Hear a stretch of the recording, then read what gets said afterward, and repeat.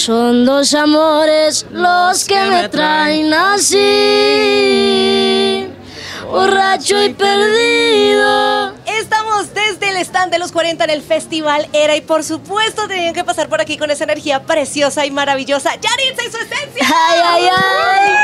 ¿Cómo estamos? Bienvenidos, qué felicidad. Además, recién bajaditos del escenario, Sí, sí. cómo estuvo ese show, la energía del público de la CDMX. La verdad es una emoción que ni se puede explicar. Estamos muy agradecidos con toda la gente que nos fue a apoyar y pues les mandamos un fuerte abrazo, ¿cómo no? Ok, a ver por acá. No, también encantados de toda la gente, de su, de su vibra, que cuando cantamos las canciones, ¿no? A todo pulmón. Muchas gracias. Se prendió el cerro. Sí, sí. Yo tengo una pregunta para Jairo. Cuéntanos, ¿cuál es, cuál, cuál fue esa canción que más cantaron? ¿Tu orgullo, frágil o cuál fue? La canción que más cantaron con todo pulmón era Frágil. Cuando la cantamos como, pues no tres veces, pero le dimos esa parte. am, Eh, ¿Por qué no tengo un corazón así? Gritando, Así como pero, el que te sí. dieron a ti. Porque al que nosotros nos tocó. Es frágil. Oigan, qué padre, Yaritza.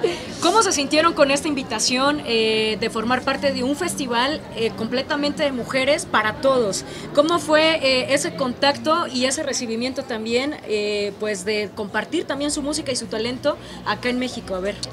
No, pues la verdad, como dije, es una bendición poder estar aquí, poder cantarles nuestras canciones a todos, a todos los que fueron al, al show, a toda la, la Ciudad de México, la verdad.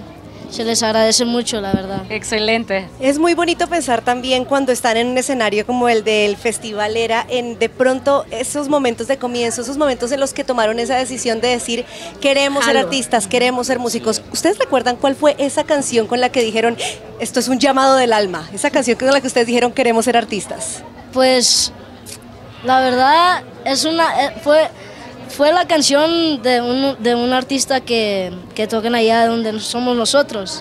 Y Se llaman pues Los Canarios, Los, Canarios, de Michoacán. Ok. No sé si han escuchado esa canción, pero es la de Son dos amores los que me traen así. No, pero Con esa, sí, no, no ellos paraba de cantar esa canción. Sí, a ver, pues un pedacito más, ya me dejaron picada, a ver. Dale, dale. A ver, dale, dale. ¿Cómo, cómo va? Dos. Son dos amores los que me traen así, borracho y perdido. No sé, por Dios que no sé de mí. A esa chiquilla yo la quiero por igual. Esta, esta. Saludos a los canarios. Oigan, y hablando de los canarios y hablando de las influencias que los trajeron acá a formar parte de la escena musical, ¿qué nombres nos podrían compartir en esta en este momento aquí en el stand de Pero digo yo, 40? de mujeres, pues Claro, para celebrar y hacerle honor a Lera. De hombres también, ¿por qué no? A ver. Pues a, Adana. a Dana, Adana. del, Adana. del Ok. compita Gavito, esa la conocemos. Ok. Sí, también a Camila.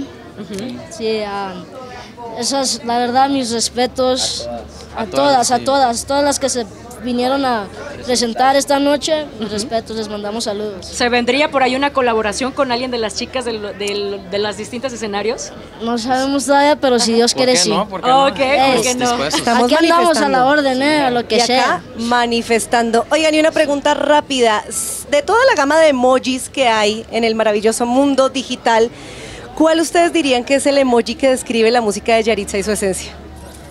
El corazón con un curita. sí, definitivo. Sí, sí, sí. Ey, va con la, va con la rolita de frágil, no sé. ¿Sí o no? Pero ya le luego con queda. otras, ya el No, corazoncito. no, sí, sí, sí.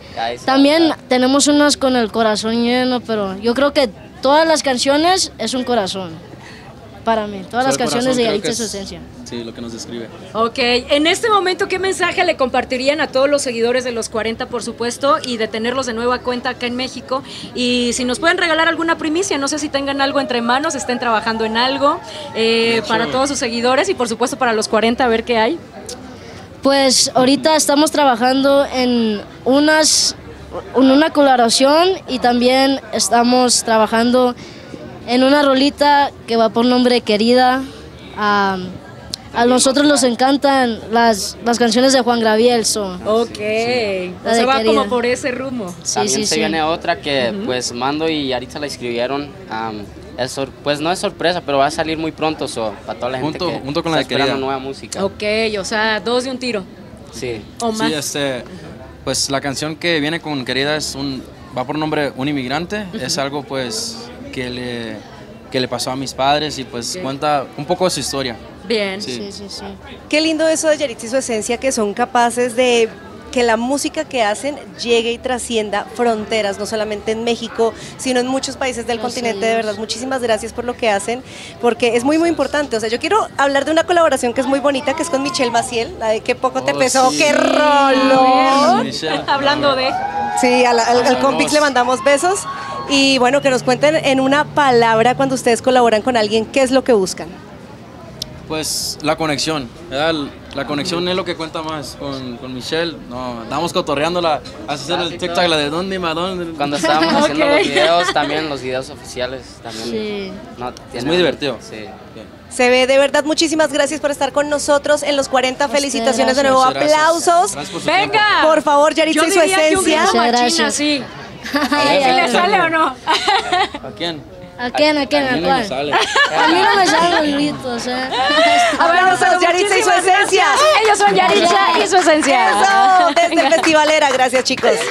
Seguimos con más en los 40.